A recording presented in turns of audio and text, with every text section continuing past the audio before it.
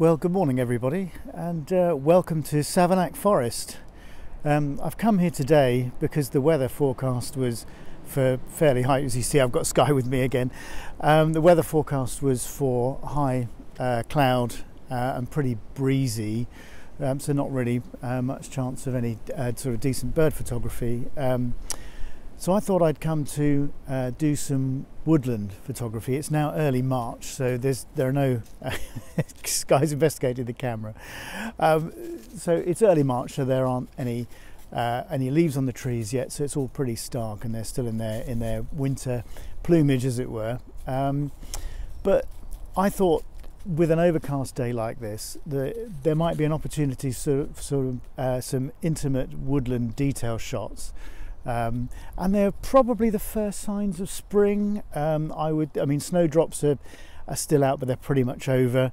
Uh, but things like lesser celandine, perhaps, I might come across, and those sort of other early flowering uh, spring plants. So there might be some of that. There might be a few buds breaking open, that sort of thing. So, uh, and actually, the weather is slightly better than the forecast um, said. So we're getting these sort of breaks in the cloud and a bit of sunshine. You can probably see the blue sky behind me. So uh, who knows? You know, that you know there might be some opportunities for, for, for something a little different. You know, maybe some um, maybe some uh, sort of tree landscapes, that sort of thing. But we'll we'll see what happens. But so woodland photography can be quite difficult. Um, lots of sort of clutter, uh, and lots of things going on. So it's quite difficult sometimes to to sort out those compositions. But we'll we'll see how we go. Um, I've got all day, so that's the beauty of it today. Um, it very rarely happens that I that I get all day. Um, so we'll just have a, a, a, wander around, see what we can find. In terms of the um, kit that I've got with me, I try to keep things to a minimum these days. Um, so I have uh, I've got the 105 macro. I've got the 24 to 70 and I've got the 70 to 200. So um, those are the lenses that I brought with me today. I didn't want to bring too much. Plus I've got a, a, an LED uh, light panel as well, um, as I thought, you know, that actually we might have less light than we actually appear to have. But who knows what changes throughout the day. The forecast is for it to stay dry at least. So uh, fingers crossed. Um, let's get out there and let's, let's see what we can find. Now, as you'll be able to see behind me, um, there's a great big uh, dead tree.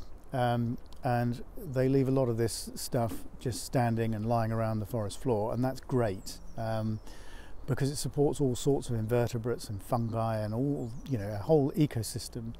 Um, and those things help feed other things in the in the wood. Um, so, for example, this morning I've been hearing uh, woodpeckers drumming uh, you know, ever since I got here, that one of the first things I heard was was drumming woodpeckers, um, and I hear green woodpecker calls. So obviously, there's both species here.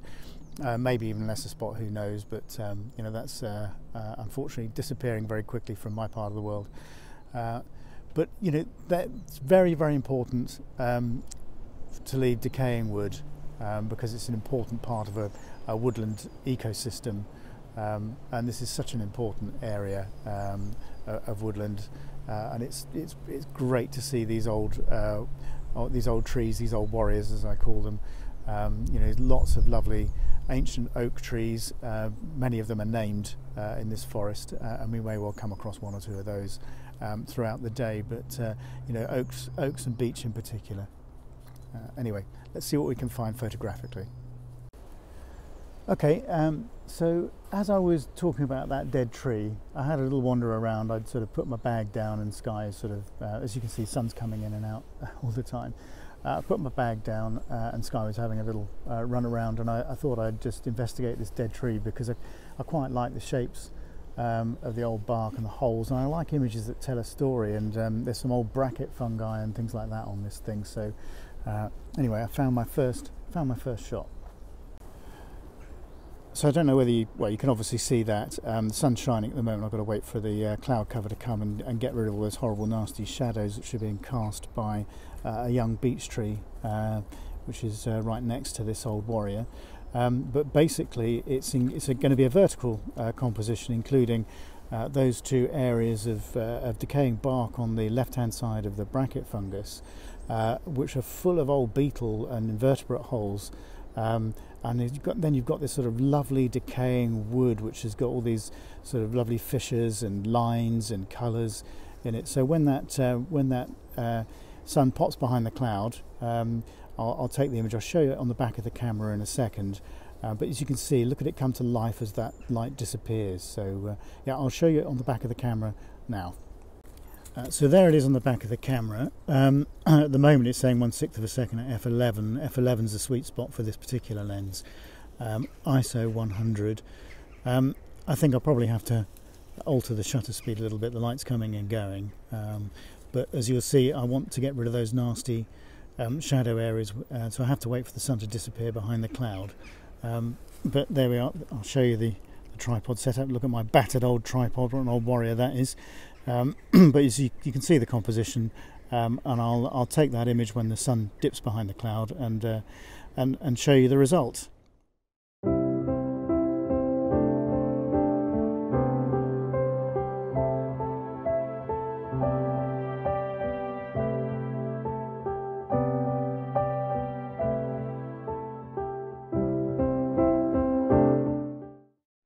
Okay, so would you look at this? I mean, as Sky is investigating, uh, there are compositions all over the place here. Look at these, lo the lovely shapes of these trees. I mean, in more atmospheric conditions, this would be, you know, an absolute gold mine. But I'm going to spend some time uh, here in this spot and just see what I can, I can find. I mean, I can already picture one or two things in my in my mind. I mean, look at the shape of this tree, for example. And can you hear that wren singing in the background? Um, I've already seen great spotted woodpecker about and there's some very owly looking holes in the trees in these old oaks as well. So you know I'm sure that's uh, I'm sure that's home to uh, to some tawnies but there there are photographic possibilities all over. I mean look at the sun just coming now. Beautiful side lighting uh, on those trees really giving it some depth now. Uh, anyway I'm going to spend a little bit of time uh, just see if I can work out a few few compositions here. So would you just look at that? I mean, what an amazing piece of wood! Look at the um, look at the ridges and the textures on this on this wood. And what caught my eye was this this thing. I mean, it's full of knots and and bits and pieces. But look at that! It looks like a whale eye that's weeping. Uh, quite poignant in a way. What's happening in the world.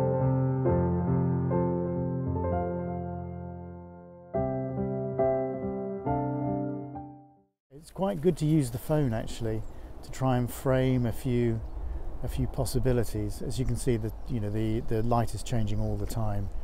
Um, but what an amazing setting! If you get the chance to come here, I thoroughly recommend it.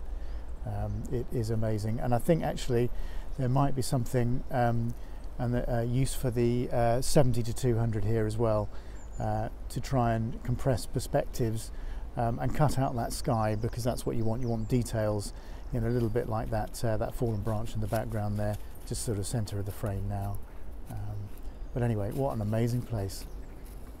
Okay, so I've got another shot lined up. Uh, as you can see, I've got my glasses on. I've been um, uh, looking at the live view just to see how it all sort of shapes up. Uh, top tip for you, by the way, never ever take an expensive pair of glasses when you're photographing things. Buy a cheap pair because I'm forever losing them and stepping on them or whatever. So um, yeah, if you uh, do that with your 600 pound pair of glasses you'd be um, wouldn't be very happy. So um, so basically I've got a composition. The sun looks like it might come in a minute. You see this uh, I'll get it right? That there behind me um, these sort of broken that broken limb looks really good through a 200 mm lens. Um, I can cut out the sky um, and I think once the light is right uh, it'll look quite nice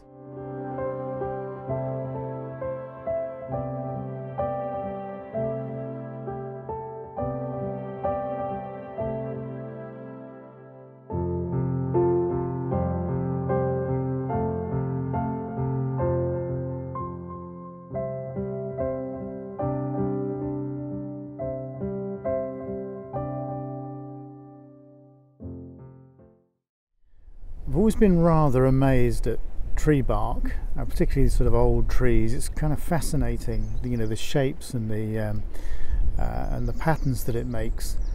Um, I have to admit, I was just taking a comfort break actually, um, and I was sort of drawn to the uh, patterns in this uh, this old oak. Um, isn't that amazing with all that, those mosses and the fissures and the uh, you know the, those bits of bark. So anyway, I've taken this image, as you can see. Um, it's uh, well, it's at uh, one eighth of a second, f14, just to make sure I've got plenty of depth of field. I'm fairly flat um, on you know in the aspect, um, you know in terms of the the lens plane. Um, so you know depth of field shouldn't be an issue anyway. Uh, ISO 100 is on a tripod and uh, two second timer. So yeah, um, quite an interesting image. I, I, quite like the way the lines, you know, down this side um, hold it in, and and again you know on the on the uh, on the right hand side. So yeah, quite quite pleased with that. See how it works out.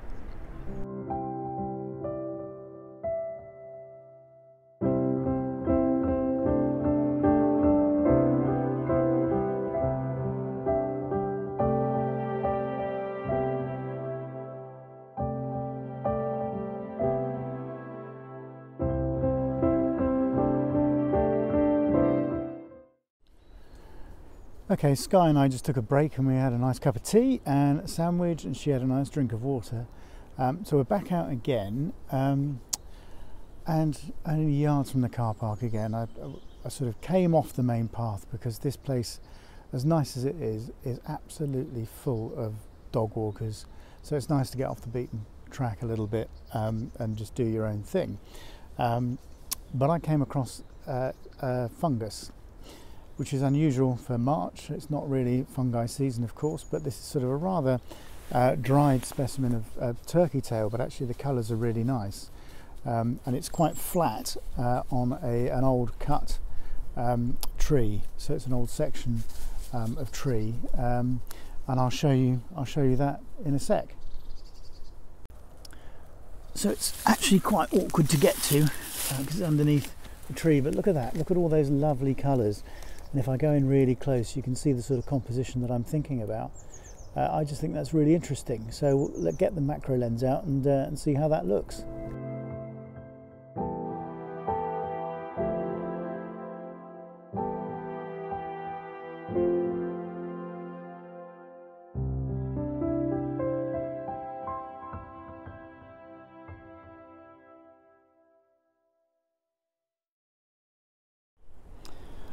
Okay, so this is the next shot that um, really caught my eye. You can see all these sort of lovely mosses growing on um, decaying wood again. Um, and basically, I've um, shot it directly from above, so sort of from this position. You can see all those sort of lovely, you know, the heads of everything. It just forms a nice uniform pattern. Um, I'll show you on the back of the camera um, what it looks like. So, so basically that's what we've got. Um, and I've got it at uh, 120th a second, uh, f9 ISO uh, 100 on the tripod. Um, I'm also going to try some compositions, probably handheld actually, from sort of down here and shooting with the macro lens through like that, sort of get something in focus in the foreground or uh, halfway through the frame. And anyway, I'm going to play around with it. I'll probably do this this handheld because it's the best way to frame of composition, you have to keep moving around. The tripod makes it very awkward uh, for this type of shot. But uh, anyway, uh, we'll see how we get on.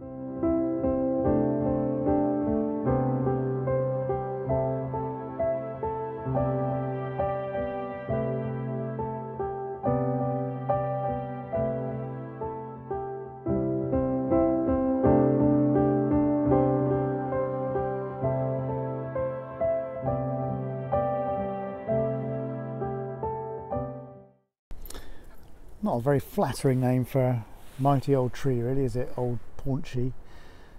Um, but what a tree. And another one in the background there as well.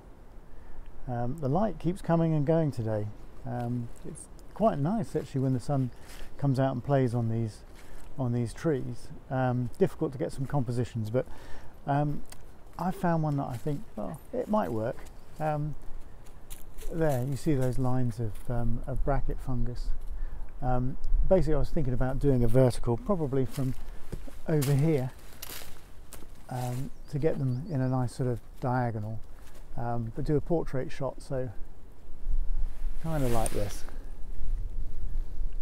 Uh, so that that's the idea. Looks quite good on the phone. Um, we'll see whether it works or not. So there it is on the back of the camera. Um, I quite like the composition actually. It looks quite nice. Um, as I said, f16 to try and get as much depth of field as possible. Get, I mean, it's quite close with a, and on the sort of 70 mil end of the 24 to 70. Um, and that's one sixth of a second, ISO 100, uh, and a two second timer. So we'll see how that looks.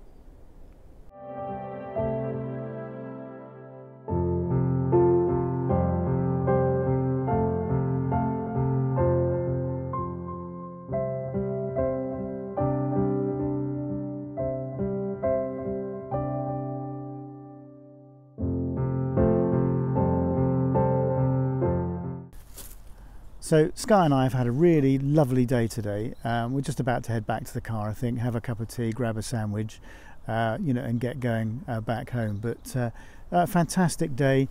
Um, we've taken things from sort of intimate uh, woodland details through to some scenics.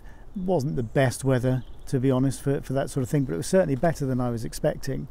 Um, I, you know, could do could do with a bit of mist or some some atmosphere like that, and perhaps sort of uh, come back another time, another time of year. I mean, autumn would be an awesome time to come here with all that colour and the fungi, and perhaps a possibility of some autumnal mist. Uh, you can just imagine it. So, uh, so we'll be back. That's for sure. You know, it's it's a place that I've I've visited quite a few times, but I've not even scratched the surface of it yet. So, I hope you've I hope you enjoyed you know the video and I hope you enjoy the pictures. Um, do subscribe to the channel. Um, do hit the bell icon, which will give you notifications of new videos as and when they're posted. Uh, give us the thumbs up and uh, leave all your leave comments down below about the images and about the video in general because all those things really help the YouTube algorithm find us and broadcast us to uh, to a wider audience so that would really be appreciated anyway thanks very much for watching and we'll see you again next time well, wouldn't you know, it, I was on my way back to the car with Sky, um, and all of a sudden this caught my eye. This sort of way the uh, light was catching that um, this uh, broken branch here, um, and I just love this tree. I mean, this this wood is just so full of character. But when the light is shining a bit more brightly, then um, you know those sort of backlit edges really sort of stand out. Um, I've sort of underexposed the shot quite a bit um, to emphasize that. Uh, and I've taken two. Um, so I've, I've, you know, I'm not including any of the sky, or that's not my intention. Um, so I guess, you know, the line will, will come across there and, you know, this, you know, this will be the anchor point for the left-hand side of the frame. There'll be a reasonable amount of, uh, of this broke, of this sort of uh, dead bracken in the foreground. And then you've got these two trees strong trees on the right hand side which will anchor the frame there. So I'm hoping that'll work. Um, we'll see. I'll stitch those two shots together and uh, you know, I think that actually might be the shot of the day.